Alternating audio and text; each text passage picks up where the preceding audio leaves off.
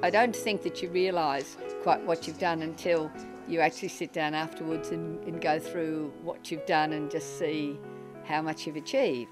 I started playing when I was five. My father played tennis.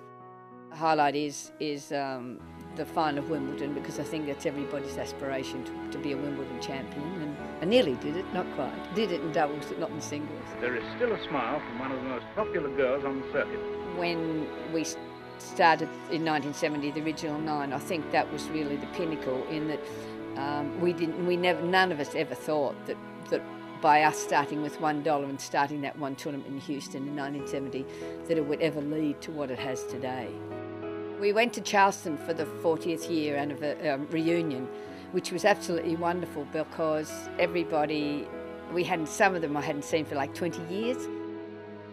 I met David, my husband, and, and I had a wonderful life. And sadly, he's not here to see me, um, you know, get it. But I'm sure he'll be looking down from wherever he is and saying, "Oh, well done, Judy."